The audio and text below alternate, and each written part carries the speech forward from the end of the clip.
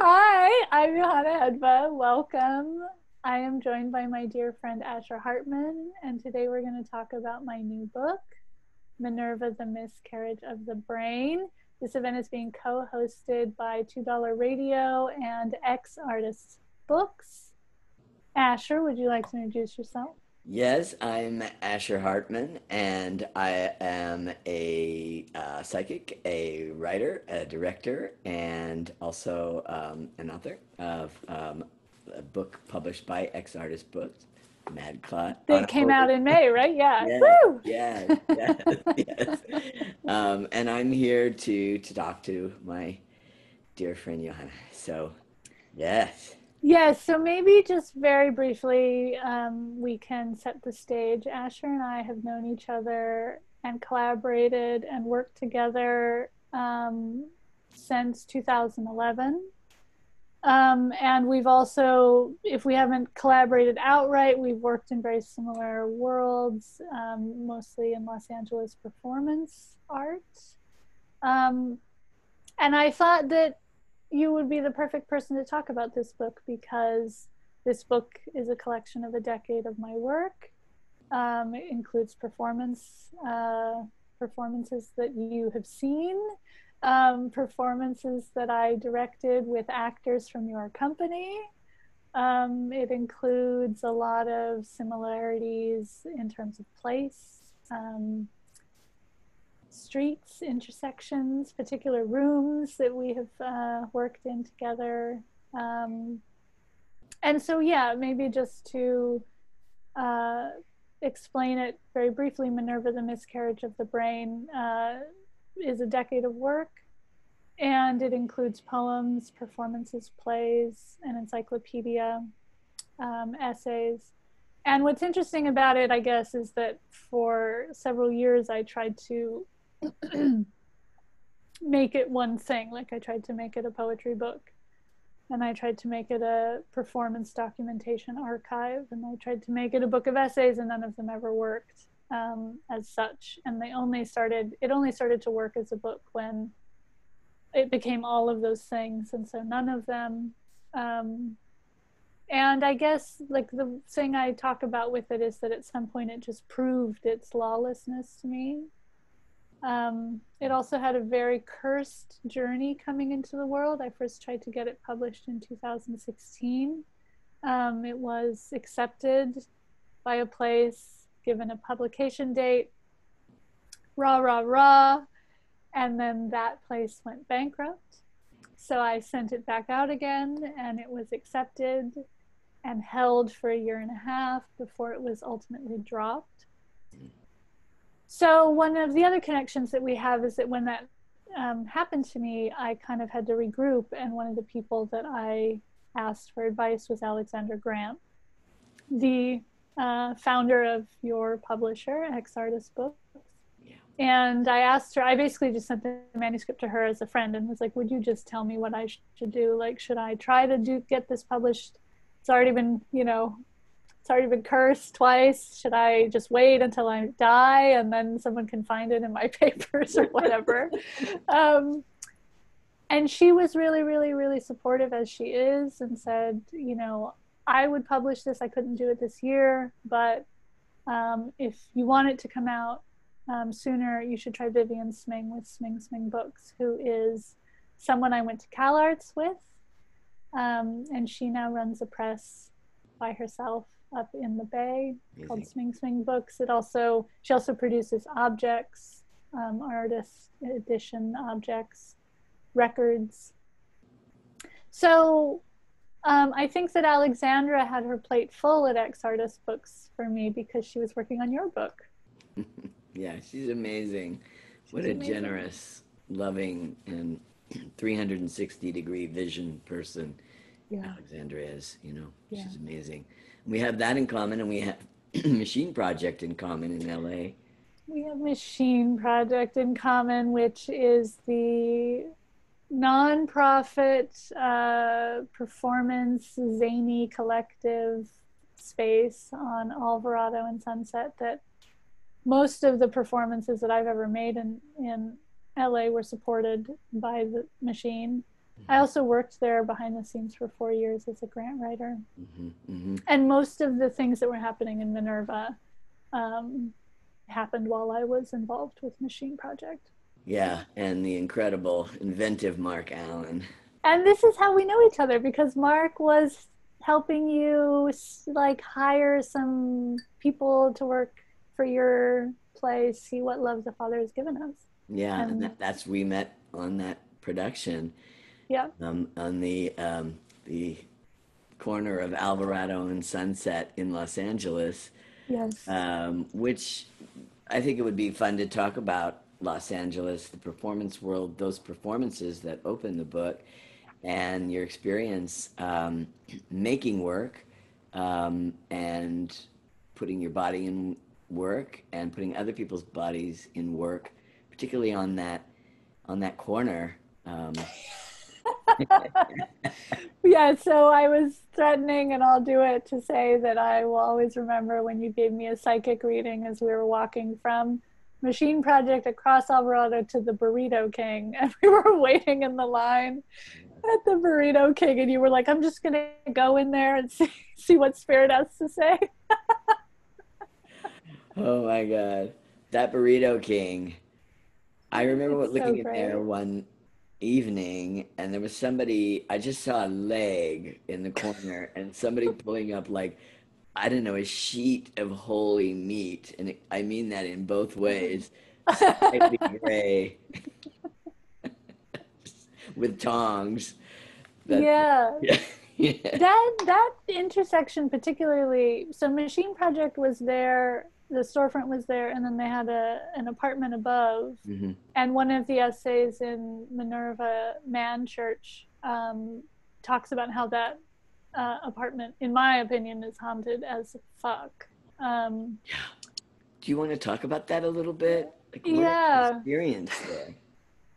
Well yeah so it was interesting because i had had several experiences in that apartment but they didn't sort of coalesce into anything um, until I found myself talking with Henry Hoke, actually, who was putting on, I think, something at Machine Project that involved that apartment. Mm-hmm. And he wanted to do something about haunted houses. And I was like, well, you know, that apartment is haunted.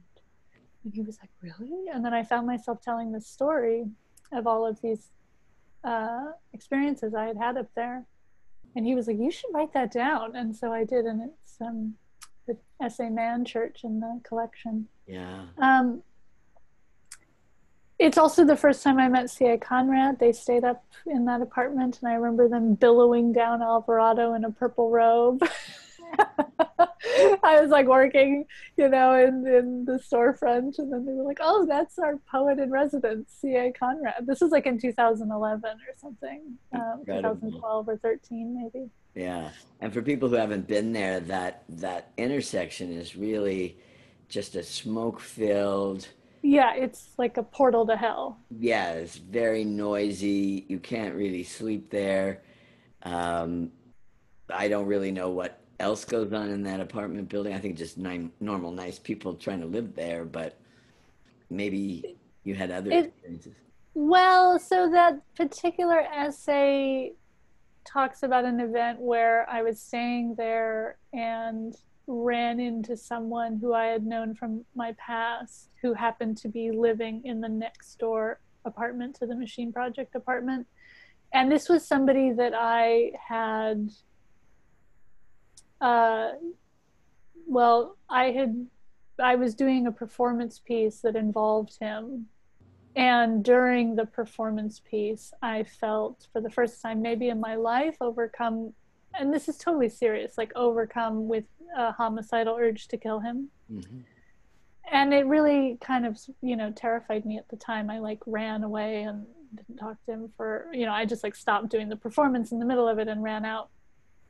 And um, I think coming to terms with that murderous rage was what writing Man Church was about. Was realizing, you know, that I had in me a capacity to want to kill someone, mm-hmm. like in not a joke joke way. Mm-hmm. Um, he represented just like everything about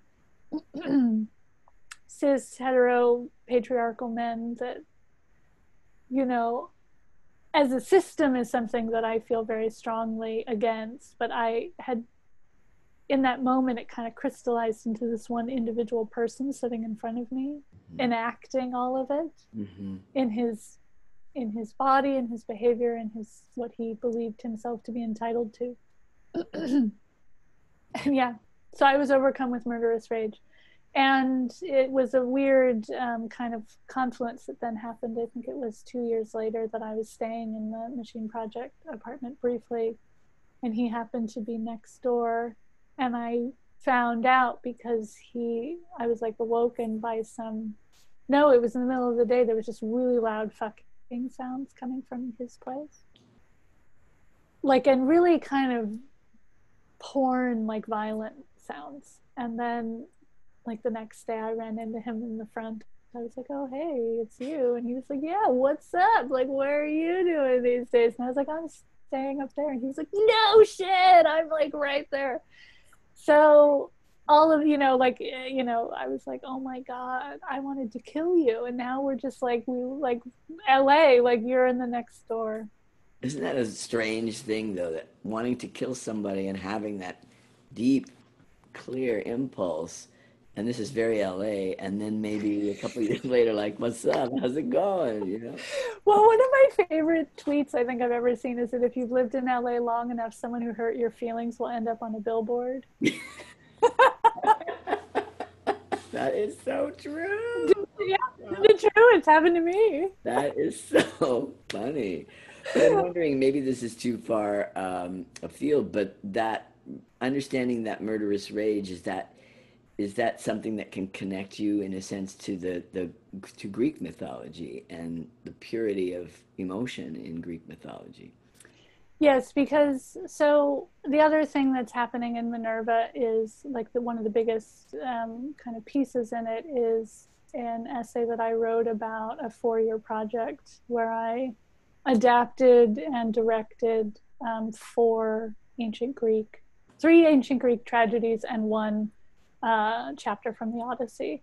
Mm-hmm. Um, and a lot of them had to do with this uh, way of trying to deal with rage and pain and trauma um, that was both individual but also political or produced by some political condition. Mm-hmm. Um, and you know, I remember when I was doing those plays, I like really needed some place to cathart my own trauma and rage. And I am kind of a, you know, I, I don't really want to endorse Aristotle, but I do feel like he ha- he was on to something with the catharsis idea, you know, of this thing that, you know, this sorceress kind of communal alchemy that happens um, when you're watching theater or performance um, that does something very uh, personal in terms of your own emotional transformation, but then you also get to do that with other people. Mm-hmm. Um, I think I'm very invested in that idea, and I haven't made a performance with other people in several years, but I spent about 10 years making them. And I think it was also a way to deal with all of, you know, I mean, the performers I worked with, we, you know, collaborated very equally and they brought all of their own pain and rage and desire and joy that they needed to, you know, work with. Yeah, I mean, I think about Odyssey, Odyssey, like in terms of embodying, you know, because they're you're literally in a vehicle with a couple yeah. of other people. This is my Homer's Odyssey and a Honda Odyssey. Yeah, yeah, yeah, yeah. Which is amazing and very risky, very perilous. In fact, you know, a lot of times we talk about performances being risk taking. I think this one was literally perilous. Yeah, it was it was properly dangerous. I mean, because also because the driver was um, one of the performers, and there, you know, one of the other performers was hiding in the back and had to pop out in the middle, and there was a hard brake moment on a big dramatic climax um, in the middle of the street, and yeah, yeah, and it's uh, to be clear, like there, I think how many audience members at one time, like one or two, or two. There were four performers for two audience members mm-hmm. per show, and mm-hmm. we would do two shows a night, and we had a three week run. Mm-hmm. And so each performance, two audience members are in this vehicle with the performers going, and we're talking about that same intersection of Sunset and Alvarado and the surrounding hills. Yeah, the Vons. It starts in the Vons. Starts in the Vons. Yeah. parking lot. Yes, and then you go up all these hills, and you're kind of like. Yeah. You your yeah. body is lurching back and forth. Well, I remember feeling very triumphant one show because there was in the audience supposedly this like very extreme German performance artist was coming to see the show, and I was also hiding in the back um, as the director. I, at some point, I realized like, oh, I have to be in the car too because like, how am I going to know what happens? How am I going to like give notes unless I'm there? um, and I remember this guy at some point odysseus is like you know crazed and spastic and he threatens to piss on calypso in the in the van. And i remember the german performance artist being like now they have gone too far. And we were all like after the show like yeah like victory. That is so good. That's hilarious. Oh my god but I mean, that's really like total embodiment for performer and for audience member. So I want to ask you because because the book, whenever it's so so bodily, you know, there's so many fragments of bodies, entanglements, pieces of bodies. What is it like to embody? I mean, why put your body in a book? Why put your body in a performance? Why put other people's bodies in a performance? What's that about? I you you emailed me and said why put your body in anything and I was like this is maybe the question of the history of the world. I mean I feel like I feel like um, I do feel on some level that the history of the world is trying to fucking deal with this thing we call the body. Mm-hmm. Um, mm. because it's kind of a drag, you know. Like I feel like as as you come into your sense of yourself um, as a kid and then into adulthood and whatever agency you have. That's also happening inwardly in terms of like oh if i don't eat then i'll feel bad. At the same time that you're learning how other people on the other side of your body and your face are reacting to it and what it means in society what the value you know is placed on you based on race and gender and all of these things and I just think that that's met equally ferociously with this internal conundrum of like, oh, you know, like embodiment. Like, and now I have this, I have to make a decision about my hair and, you know, these kinds of things that are actually very um, bound up in identity. Mm-hmm. Of course, identity doesn't, you know, it's never fixed so i think that's the other thing is that being in a body you're just watching this thing change all the time. Like the minute you have a handle on it it's going to be different. Yeah and there's a sense of in the book of things kind of moving around sliding around being entangled. And in the performances i mean obviously we talked about odyssey, odyssey but also medea the question of who is who is medea? Um, and what is this kind of entanglement with the idea of mother or woman um, or gender or being or being the foreigner or you know being the, the person that's outcast etc um, there it's very salient in in all of your works. Um, and and both you know literary works and non-fictional you know essays or theories. Um, so it just pretty fascinating to me how you conceive of the body. Like, what is the body to you? I mean, is that a too big of a question? No, I think it's a drag. Um, and I mean that both like it's a kind of this like painful, awkward, frustrating, expensive thing you have to deal with, and also drag in a drag sense. Mm-hmm. It's this, you know, really I don't want to say can palette or canvas because that seems 2D, mm-hmm. but it's this thing that you get to kind of build, right? And you get to decorate it and construct it and kind of create a character. I think that one of the reasons I'm so fascinated by actors is this embodiment of that can change, right? And particularly body language and voice and gesture that that means something about an interiority. Mm-hmm. Like the thing that actors are so amazing at is communicating a story through their body. Mm-hmm. And yes, as a playwright and as a you know writer, like they you know speak the words that they are given for that piece, but actors, you know, of anybody, I think are some of the most embodied. Like they don't need words to actually communicate, which is one of the things that I find so fascinating about them. And you also had said that you would, in another life, or if you were doing something else, you would be an actor. Is that true? Yeah, it would be cool. I'm too shy and broken, but at this point. Uh, but yeah, I think that there's a there's an interesting thing about you know some actors, not all actors, but they have a the, the property of shape shifting or having spirit or beings slide into them or kind of interlocking with those beings. And um, and language you know particularly in, in some some forms of playwriting is a real channel to that or vehicle for that. And i think that's true for for the production of medea you know? And right you asked me about medea. I should maybe yeah.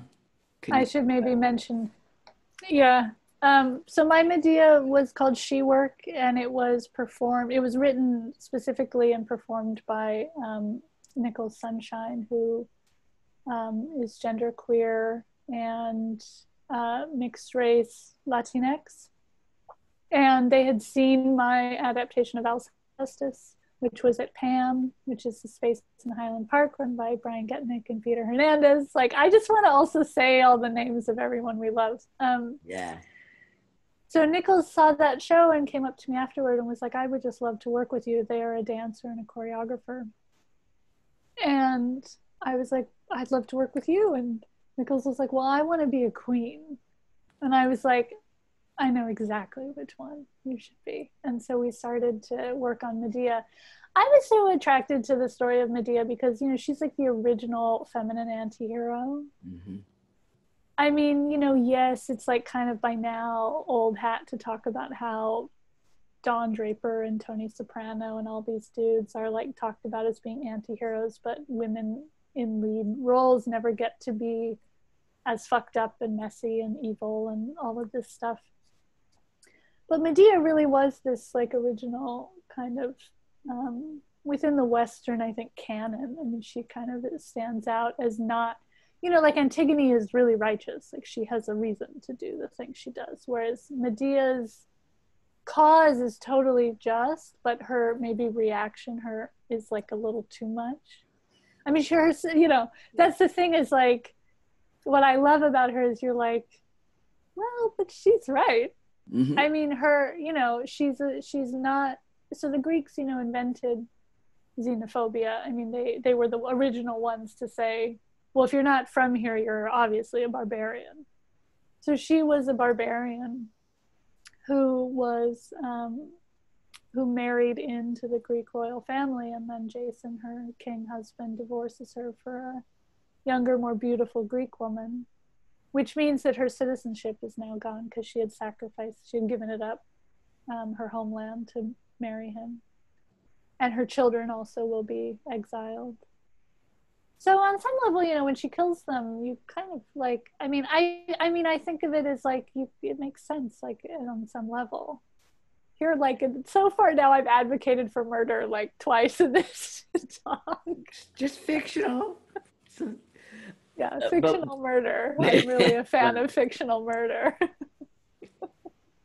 But what what was what do you think attracted you specifically to this story? Like her stories. Well, she's always talked about as having female rage, right?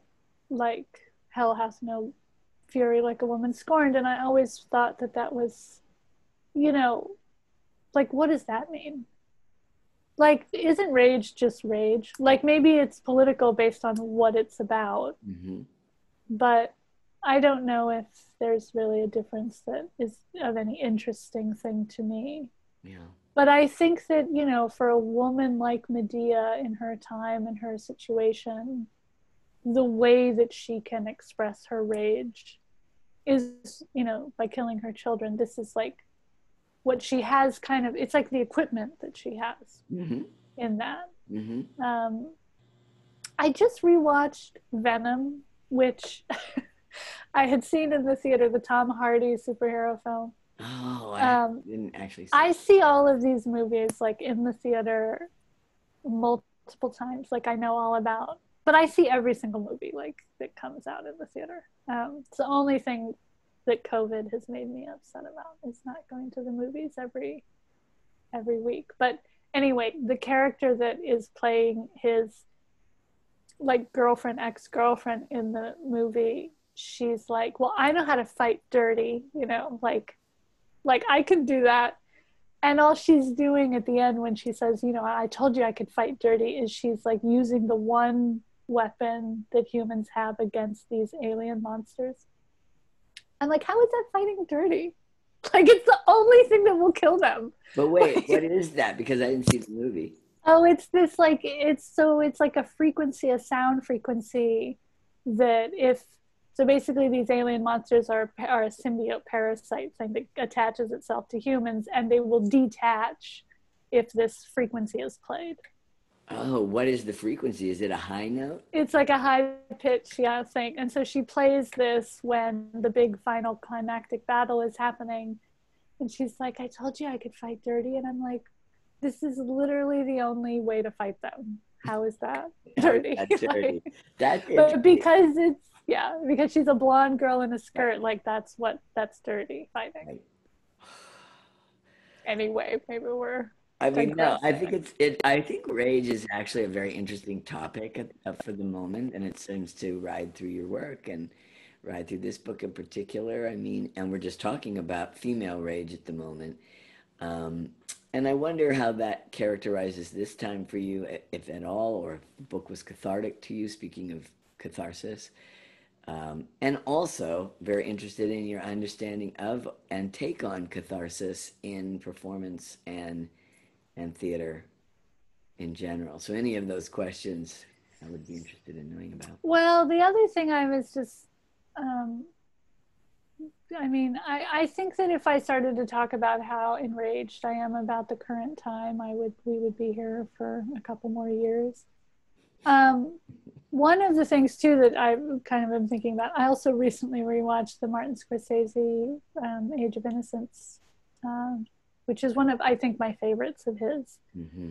But he has said that that's the most violent of his films, mm-hmm. and I thought that was an interesting comment to make, coming from a man who's made the kinds of movies he's he's made to talk about like this sort of drawing room psychological feminine manipulation game as being the most violent. Um, I guess, like, I mean, on an astrological level, my Mars is very empowered and also debilitated at the same time. I have a Mars in Scorpio, but it's retrograde in the 12th house, which basically, like, takes the most powerful kind of warrior rage monster mm-hmm. and then, like, buries it in an iceberg. And it's like, okay, feel all the same feelings, but they're, like, frozen in there. So, in some ways, it produces more longer rage. Um, it's not very healthy, but it's like 10 years after the fact, I'm like, oh, I'm so mad about that thing. I just realized, you know. um, it's taken me a long time to, in astrology, there's a technique with a planet that is debilitated where you want to quote unquote remediate it. And it basically just means this planet needs a little extra help to do what it wants to do. Mm. Um, and so in my case, my I need a little extra help to be allowed to feel rage when I feel it, and in my body. Um, mm. So I think that I have made performances that particularly deal with that, and in, and also in writing. I mean, I think my first book on hell is just a big, you know, scream. Mm-hmm, mm-hmm. Um, well, the other thing that it makes me think of is I talk a lot of the time about what I do, no matter what it is, if it's performance or art or music or whatever, as being writing, because I think of writing as just being language embodied. Mm-hmm. So it's words on a page, but it's also words coming out of a voice. um, you know, a voice speaking into a room, it's screaming in a room, it's, mm-hmm. I don't know. I mean,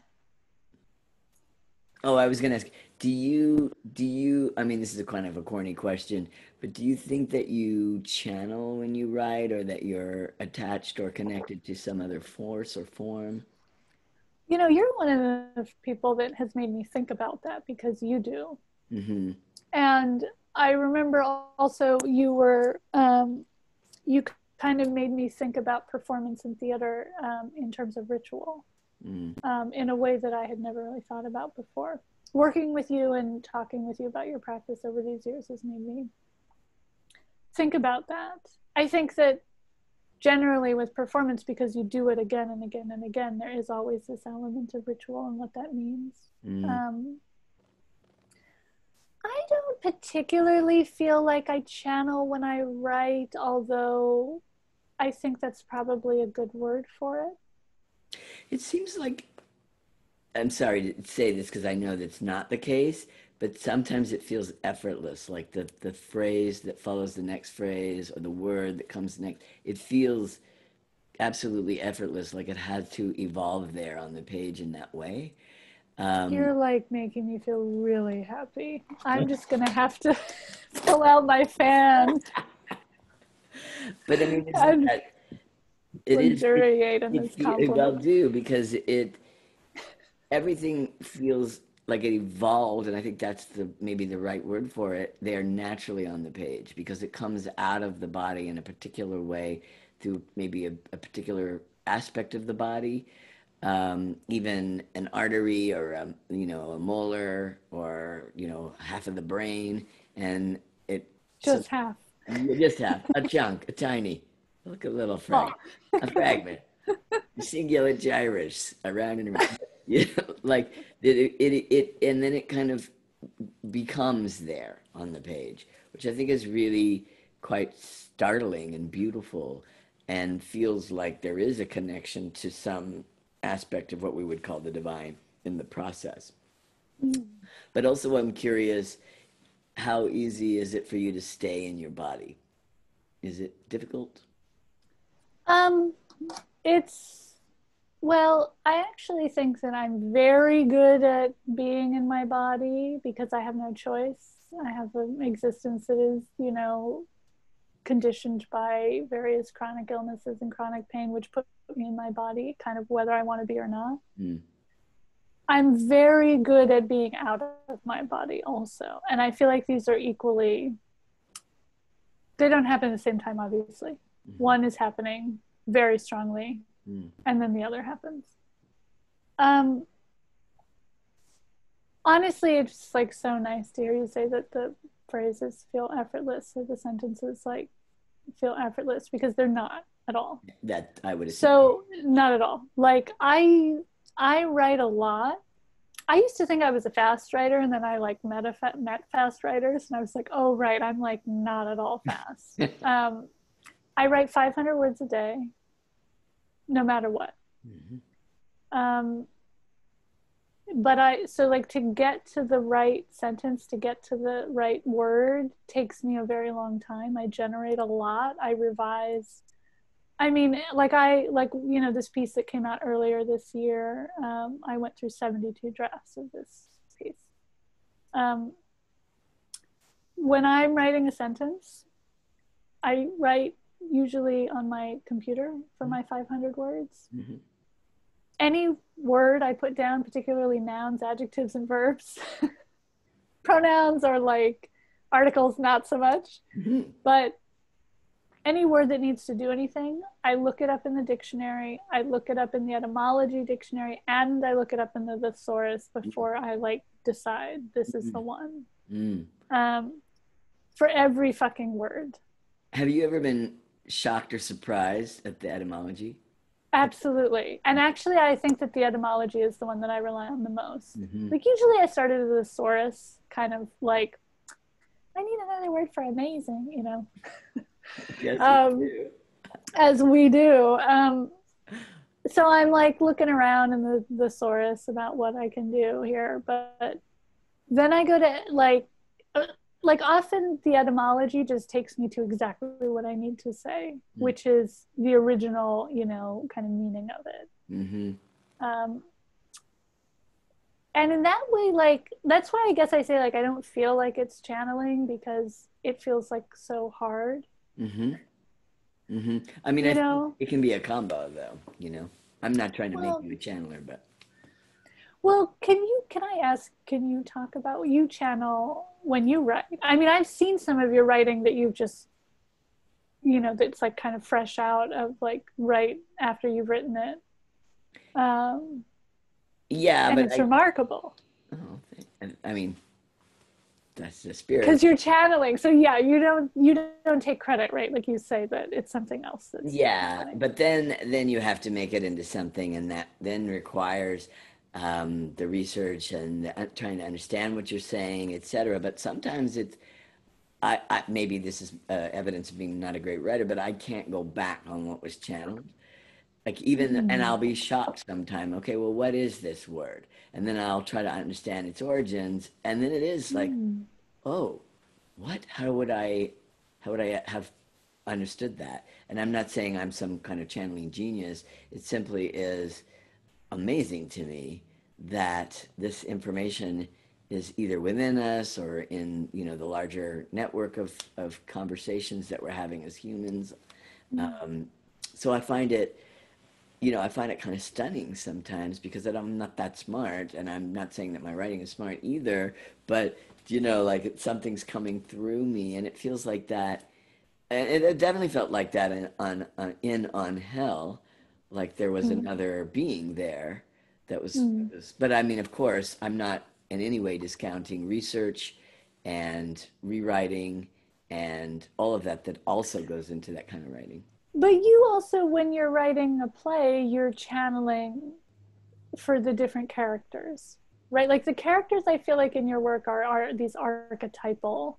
mm-hmm. you know they like they're like a host for various energies and thoughts and ideas and histories and you know and and what's cool about how you work with your performers your actors is you work with them for years and the process is this kind of ritualistic kind of communal you know all of you make the play together mm-hmm. um, but you're kind of like the godhead that's I think of you well, yeah. I mean, we can't get into all the astrology, but I remember I saw your chart and I was like, oh, you're not a mystic, you're a god. yeah, tell them.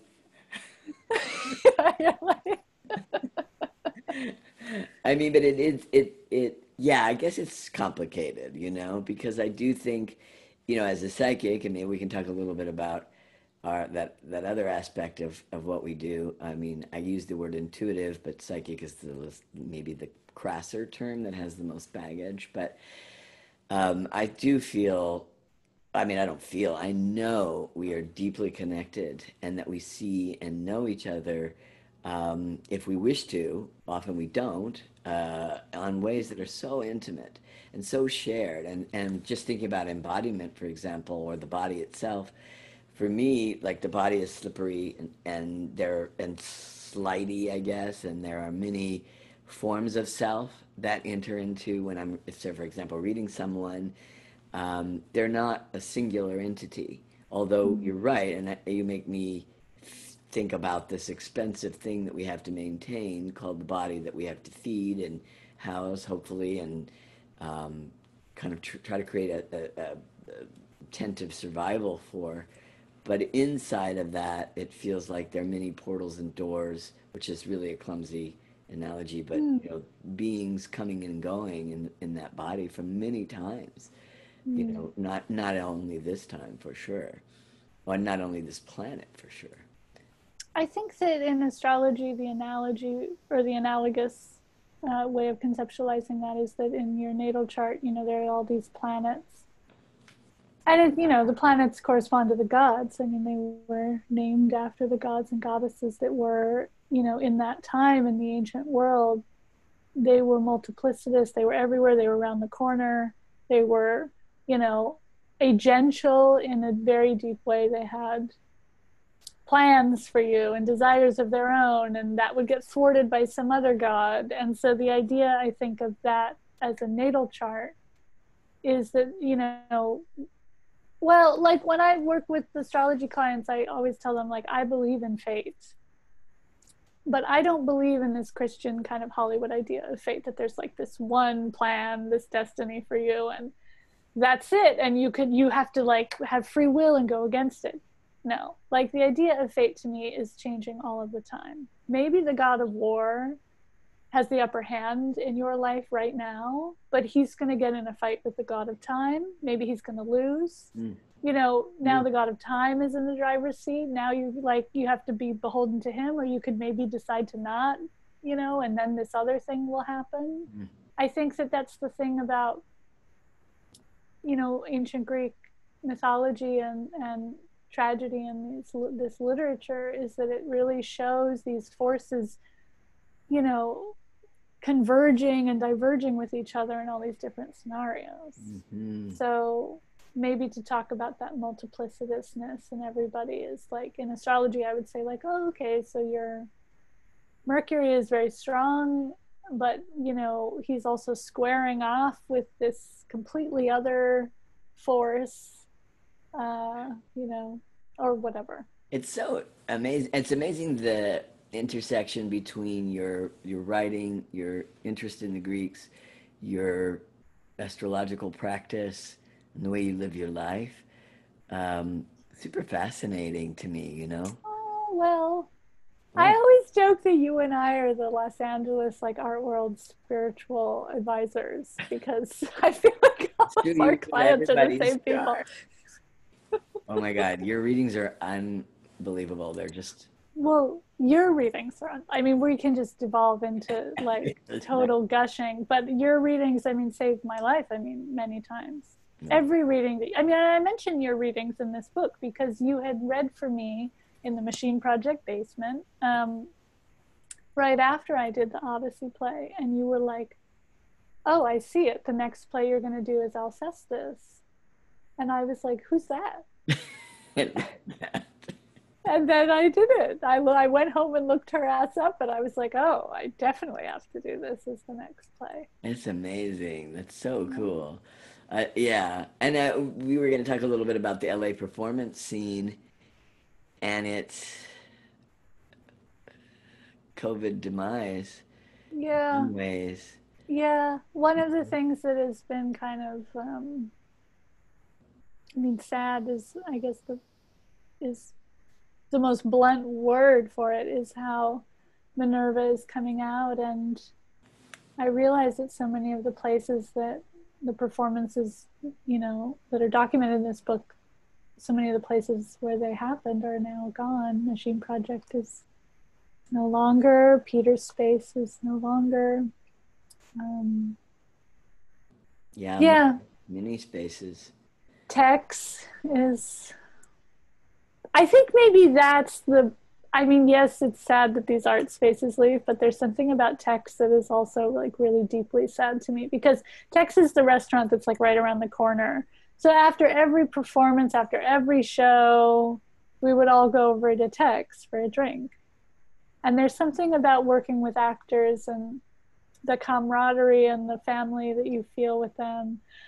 Also, I just remember one time we had this fabulous show and we went to Tex and we drank and then we like went to a party that was down in Echo Park somewhere. And I remember, I don't know if you kind of hung out for the party, but I remember at some point my actors and I were all on the dance floor and one of them swung over to me and was shirtless and was like, Everyone thinks we're on ecstasy, but we were just in a play.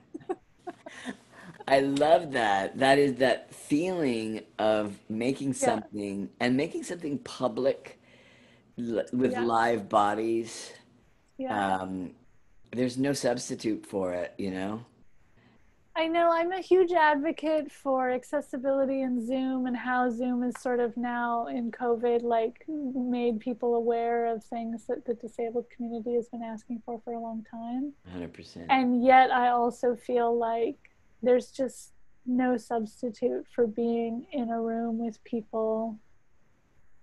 And especially if you care about these people or you care about the work that they're trying to make you know like being in the audience is as you know amazing as being on the stage. Yeah and it's and it's as an, an important uh, role as the actor or the the writer or director etc um, i don't think people necessarily take that into account that when you are there you're not merely a witness you're very much a part of what's going on and you are asked to be available to it.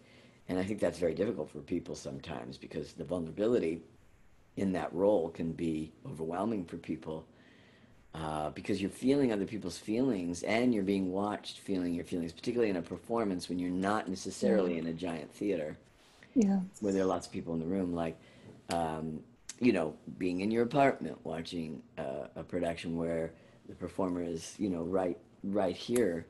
Um, yeah you know, or being in um, a gallery space or, um, you know, some other venue where where the feelings, the the ritualistic, uh, I think, you know, aspect of performance is felt. Um, and I don't know that we always take that into account. And I agree with you, though. I think Zoom, in fact, and uh, FaceTime and those other those other portals, if you will, are incredible you know, I know we, we complain about them um, because they are exhausting, but I actually find them they're better portals than being face to face with people. It's true. People, I think, are willing to be open in a way, maybe because they're in the comfort of their own home, you know, quote mm-hmm. unquote.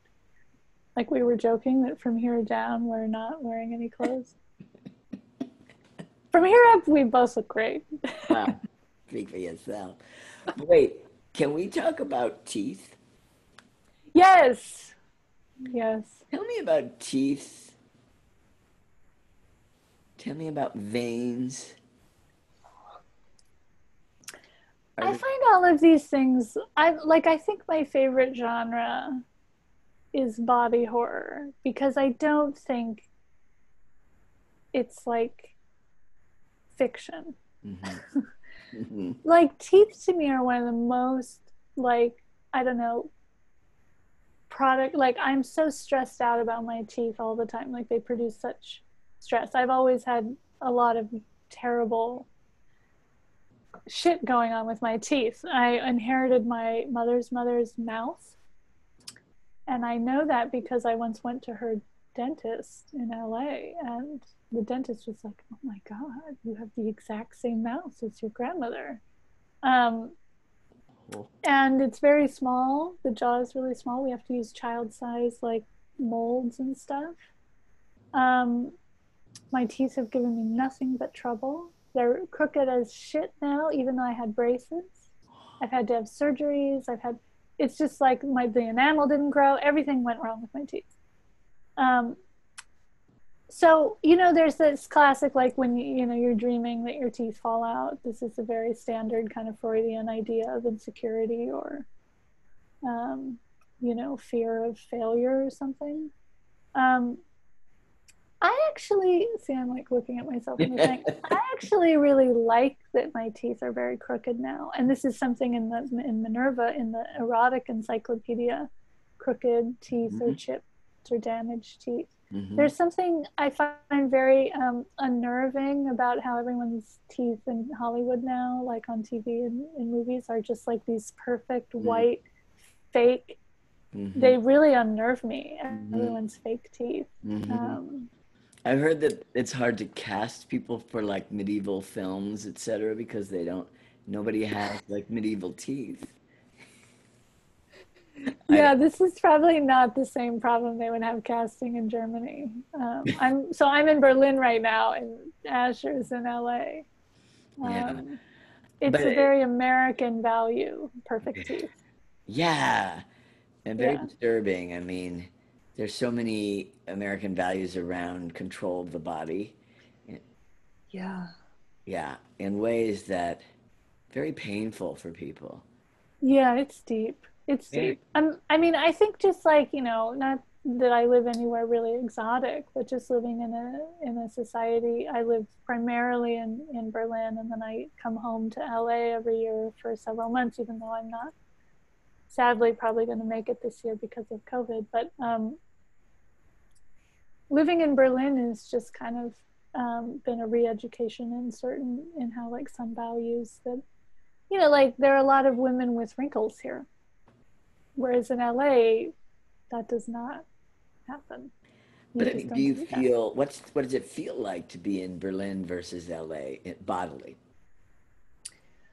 Um, well the primary difference is that in america there's a just background bodily tension of my health like i could get shot because there are guns mm-hmm. or if i get sick healthcare is you know i'm going to go bankrupt mm-hmm. because of healthcare mm-hmm. that general stress is not here in germany because my health insurance just fucking works there's no such thing as a deductible or the copay is so the other day okay here's an here's the story i think i've told it in a couple of situations, but like my doctor was giving me a medication that I don't take a lot, so I only get it maybe once every two years. And he's like, Oh, but I'm sorry, your insurance is not going to cover it. And I was like, Okay. You know, and in America, this could mean that you're going to pay $800. Yeah, yeah. I'm like, Well, how much is it going to be? And he's like, It's going to be 15 euros. and I was like, oh, right. See, like in Germany, you could get pissed off at that number. You could be like, 15 euros. you know, it. I never think about this stuff until I meet people who are in other countries where, yeah, you don't think about getting shot. It, it, being shot is the background yeah. And literally a reality for many people here. Yeah. Um, and I don't think about that as a condition that I'm living in until I hear something like this. Yeah. And also the, the healthcare thing. I mean, you know. It's just like this vagus nerve um, stress that is not here when I'm in Berlin and and in terms of your like physical body with like wrinkles and teeth and blood and and fat. Yeah. I don't well i don't really think about aesthetic like like i like that i have crooked teeth and gray hair. Like i'm like so proud of my like gray hair that's coming in. Mm-hmm. um in a way that like is a statement to say that in la and in berlin nobody gives a shit they're all like, "What? Like, of course you're gonna have crooked teeth and gray hair and wrinkles. Duh. Yeah. Like you're a person. yeah, yeah. I mean, the, I, I. This kind of leads me to the question of the erotic in your poetry, and in in your work in general. Um, is it okay if I say that you kind of said that you feel embarrassed by your poetry? Well, I don't feel embarrassed by my poetry because of the erotic part. No, no, no. I, I'm um, not saying that. But yeah, um, yeah, we can talk about this. The fact that there are poems in this book makes me deeply um, embarrassed. Why? Because I find poetry to be the most embarrassing art form. Period. And I think like this is this is like a, I have like a little Pisces theory with this dance poetry and music to a certain extent, which are the Piscean arts. To me, they are mostly bad when they happen. And it's so oh, painful. Like to watch bad dance it's like the worst thing you've ever seen, right? It's like, and it's like cringe, like the vulnerability is just so, uh, and the embarrassment that you feel for these people. Same with bad music um, to a certain extent, but for sure, the, for me, the most is with bad poetry. When there's bad poetry, it's just, I just, oh, like I want to die for the person, you know, mm. like it's just so terrible. Why? Why? And I think, well, I think that the reason is because these three arts, when they are good, oh, there's nothing better. They're like transcendent, you know, they like feed you in a very basic primordial way. Yeah. That like a masterpiece movie or a novel you know, and I would like kind of put theater in this a little bit. Mm-hmm. Um, because it's the same kind of thing with dance where you see like people's bodies and they're trying so hard on the stage you know um, i guess that the embarrassment thing for me happens because of this raw kind of basic food thing that i'm talking about is is is you know potentially there mm-hmm. like so with poems i started out you know when I was a young person and wanted to be a writer, I was like, oh, well, clearly you write poems. Like, that's what you do. So I tried to write them. And I've talked about this and even made a project where I called myself a failed poet. I think I am not a poet. Um, I think I failed at being a poet. Why? I don't.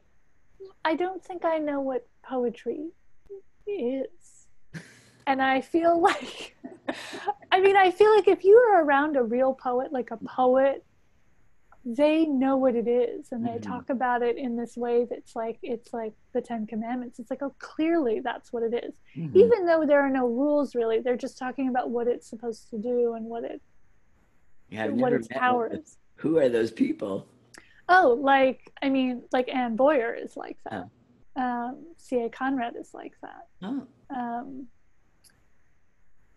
I haven't, you know, really spoken to her uh, personally, although she we've we've had a correspondence um, over email. But Bhanu Kapil is like that, and these are all people that I really, really, really admire. Mm.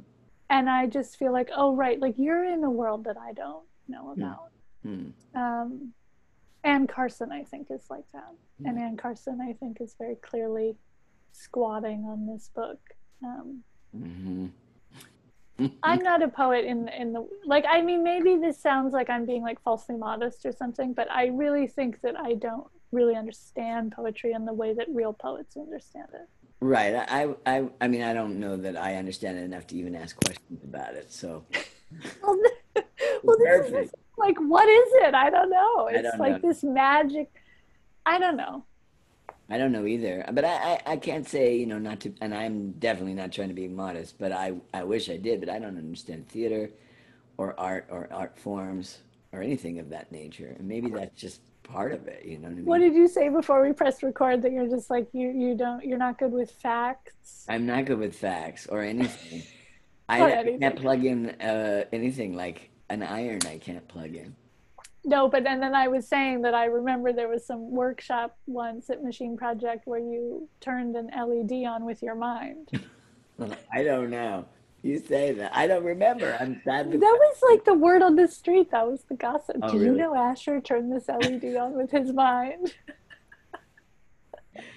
I mean, I yeah.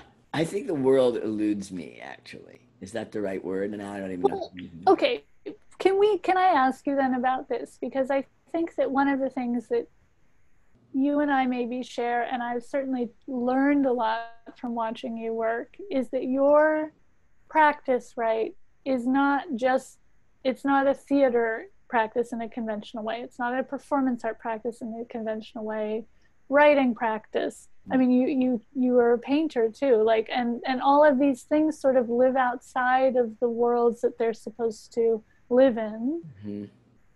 And yeah i mean i take a lot of inspiration from that but i think that it's also like can you talk about navigating these different worlds and how you kind of have this maybe transgression against where things are supposed to belong and what that means? Yeah maybe and maybe not to circle back to the to the book but it feels like this particular book is also a kind of transgression of what a book's supposed to do. Um, but for me yeah i don't I don't think I have ever intended to be against theater or against performance.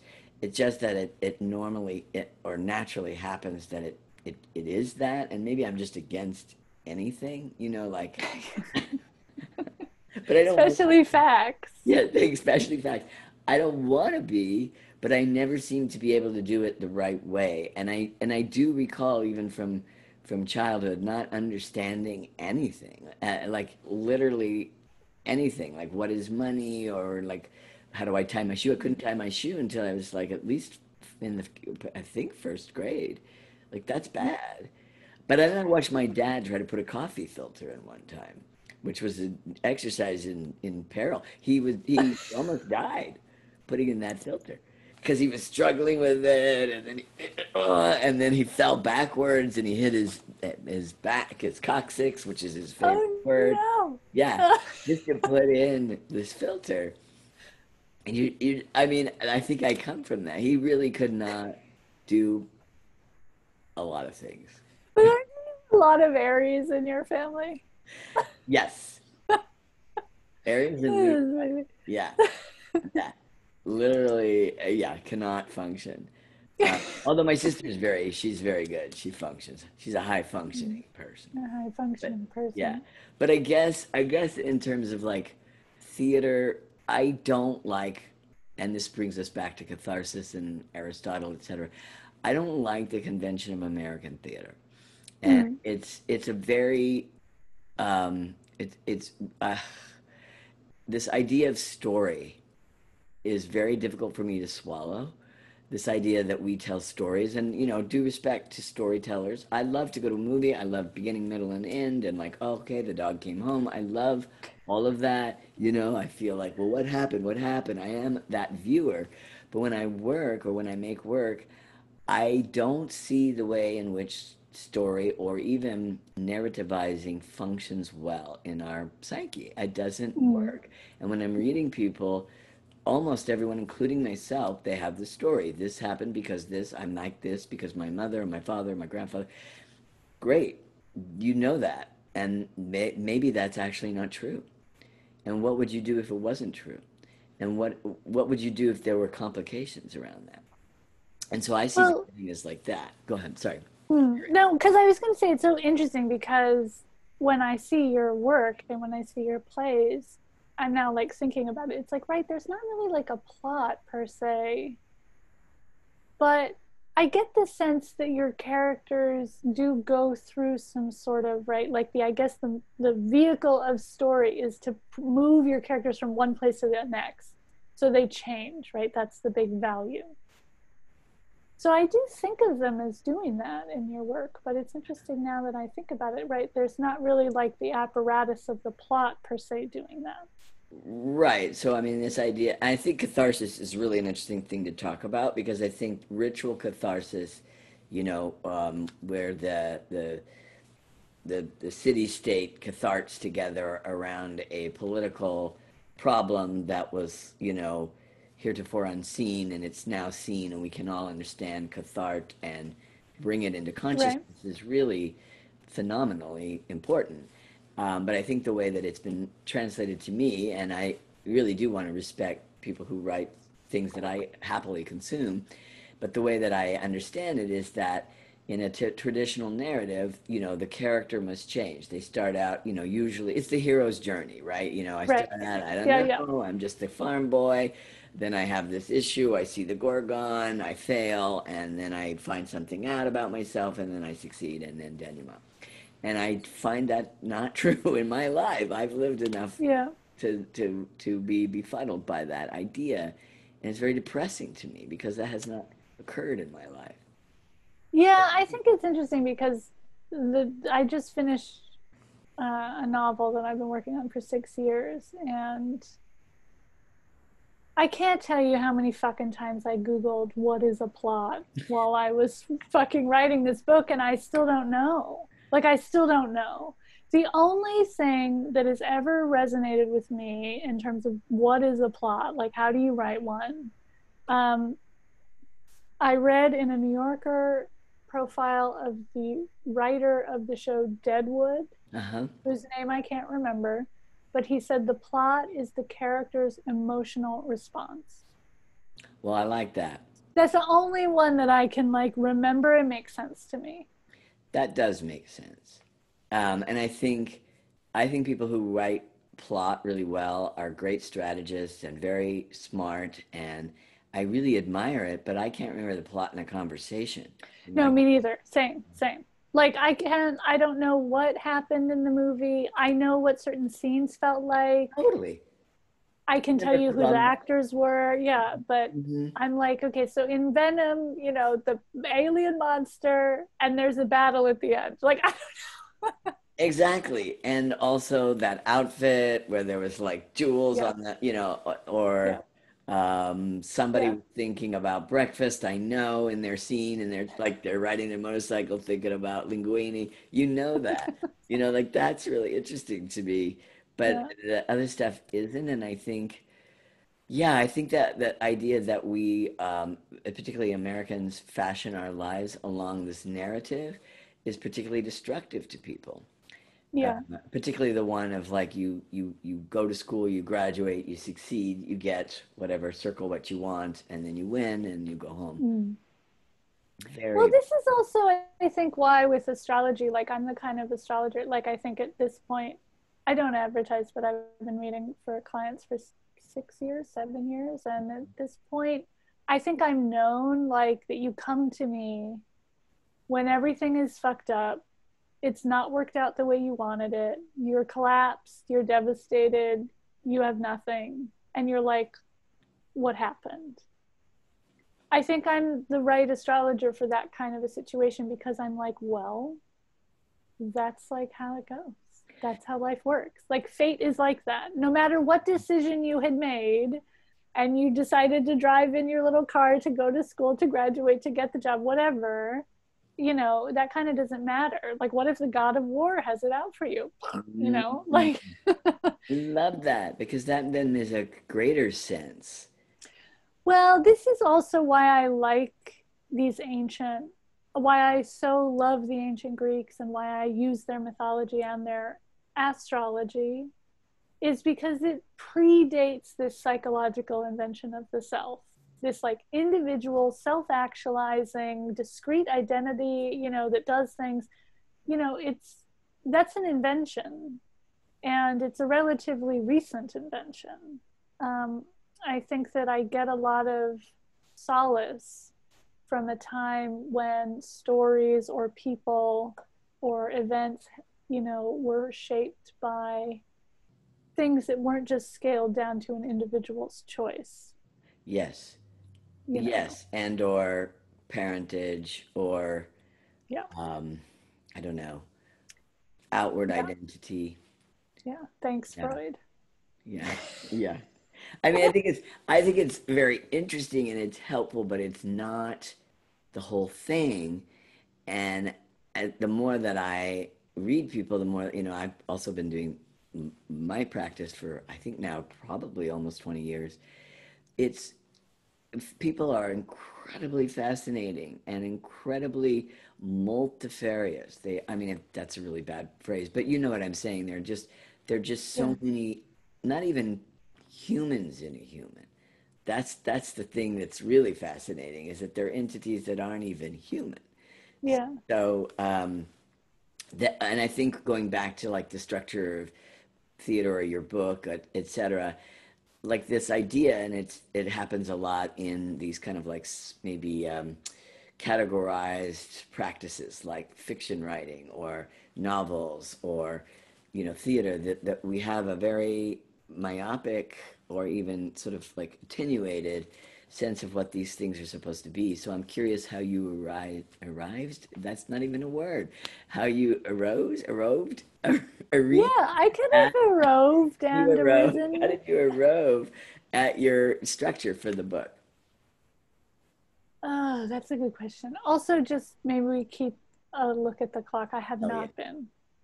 Um, uh, this is a good question. So, at some point, the shape shifting quality of this book was the thing that convinced me it was a book.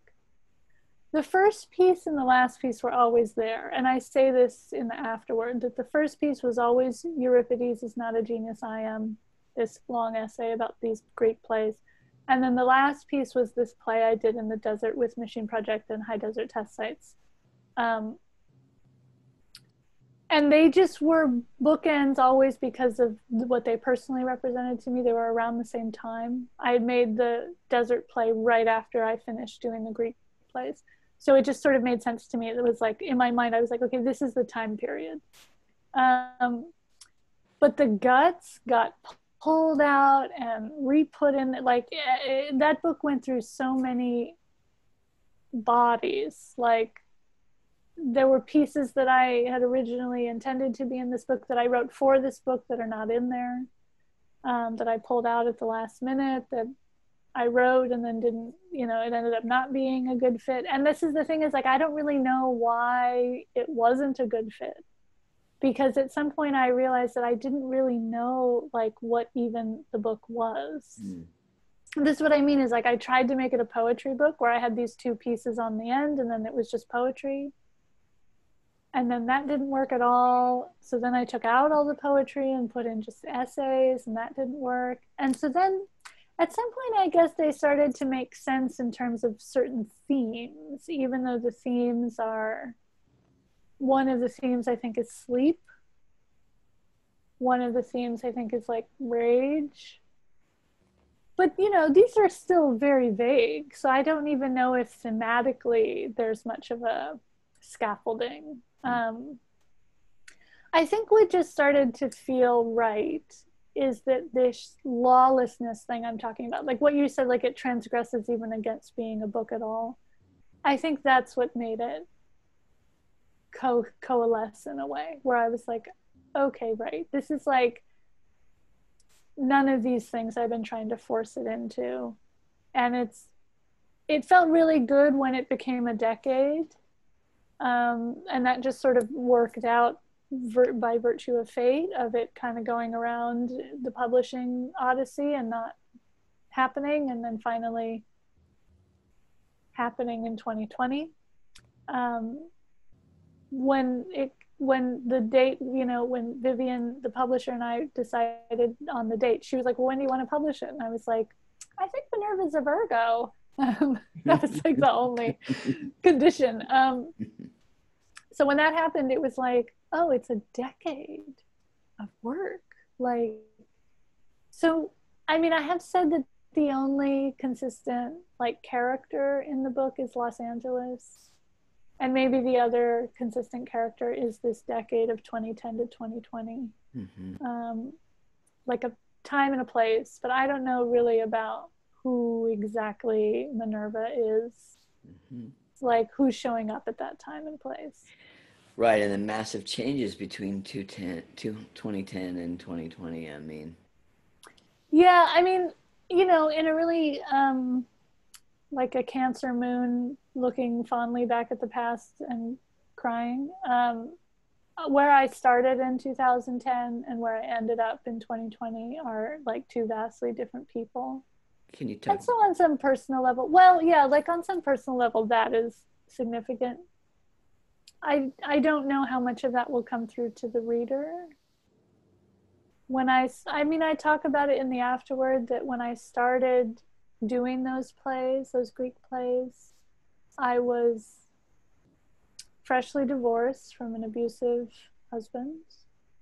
I was fresh out of the psych ward where I had been involuntarily hospitalized um, by a man. I was kind of really starkly encountering the patriarchy, I think, because it fucking played out its war in my bed. Like it didn't matter what my politics were. It was like my whole life was constructed um, and decided upon by these dudes. Um, and so I had to kind of deal with this, you know, like, well, it, did I have anything to do with bringing, inviting these men in?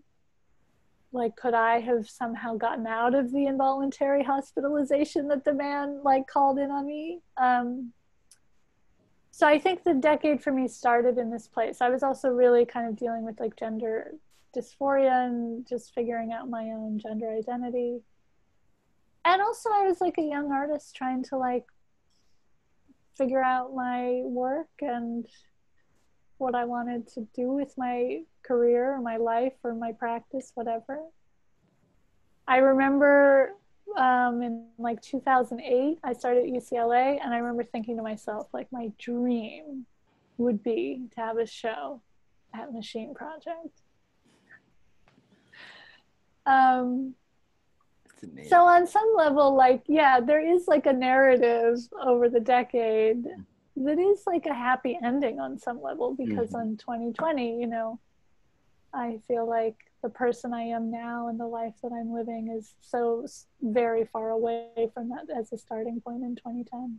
Mm, um, yeah, like maybe that's like the, the plot is that they defeated the patriarchy in this decade. Well, not the whole patriarchy, but the one in my life. Very hopeful. I know. well, we'll see. Yeah. And also, maybe I'm like, yeah, remediating my Mars. So my rage is a bit more. I don't want to say healthy because I think that's a weird uh, conception of rage. But I think my rage is, um, I get to use it rather than it using me. Ah, what a great, great way to think about that. Shall we talk about eros briefly, or yeah, because we did eros, we did, the erotic. Yeah, can you talk about that in poetry a little bit, and in language, or is that too vague a question? Like as if they're different. They're no, not at all. I don't know that they are, but it, it's a general question of like where you find the erotic in your in your work either written performed spoken felt well this is maybe some like bigger i don't know what proposal that maybe i'm trying to say about writing being language embodied and talking about catharsis in terms of writing. I think catharsis happens in writing also. I don't think it's like yes aristotle you have to like go to the theater to have it but i also think that catharsis can happen when you're reading something. You know anthony mccann the poet talks about the necrosocial mm-hmm. um, and poetics particularly and writing in general but poetry as being the space where you commune with the dead in a necrosocial space mm-hmm. um, i think that's also true when i feel like i'm writing, I feel like I'm communing with all of these different references, right? Etymologies, histories. Uh, when I write, I usually keep, I mean, I write at this desk and I usually keep um, stacks of books on my desk. And when I get stuck, I will open them and uh, one of my favorite things to do is to just write verbatim, like take a book and write a sentence from that book verbatim into my manuscript and then go through word by word and change the words to antonyms or synonyms. Um, and this is like to get at a syntax oh. that's maybe different than the one I would do. But it's also like a kind of communion with, in an erotic way. Like I'll pick up like when I was writing Minerva, I did look a lot. I did have Anne Carson's books. They're like right above my head here. Um, I did have her on the desk a lot, and I would just pick them up and open them. And she's she references. I mean, she's got some Gemini in that chart. She's like referencing Monica Vitti and Simone Weil in the same mm. place. Mm-hmm. Um, so I think like there's an erotics to me in terms of this congregation that happens mm-hmm. when you write, when you read mm-hmm. all the voices, all of the histories. Um, I mean, the piece in Minerva that everything is erotic, therefore everything is exhausting is sort of like a, a cheeky, you know, proposal that just like everything is erotic. So, like, if you think about it, um, anything can be erotic. Mm-hmm. Um, and I think that there's that uh, quote that Audre of Audre Lorde's from the uses of the erotic that opens that text where she says it's it's about how much you can feel in the doing. Mm-hmm. Um, and I, I, think that like when I'm writing, that is what's happening is I'm trying to like feel into a word as much as I can or a sentence. Mm. Um, yeah. Yeah, it happens maybe more in my fiction too, which yeah, this novel I was working on for six years. Hopefully that'll come out at some point. Um, but in that way it's also very real where you you you know you decorate the room or the scene or the character's mind or interiority in a way that you know has to me it's an erotic exercise mm-hmm. to write your characters yeah oh deeply yeah yeah well this has been fascinating. Yeah maybe that's a good note to end on. Yeah i think it could be. We've been we, we've been chatting for a bit. Okay. Yeah what do you think? I think it's great. I'm so happy to do it with you. Yeah, vice versa. Be- beautiful. One day we'll have to have a discussion about theater, writing, poetry, astrology, and psychic space. Another conversation about it. Another I feel like we've been, having, we just we've been having a conversation about this stuff for like almost 10 years now. I know, but it's really fun. Maybe I just see I lost the thread. We're already in it. um, yeah. Okay. Well, thank you for whoever is going to watch this and yeah. tuning in. We appreciate yes. it. Thanks for communing with us. Yeah, thank you, Johanna. Your Thanks, work is so special, and you're so special.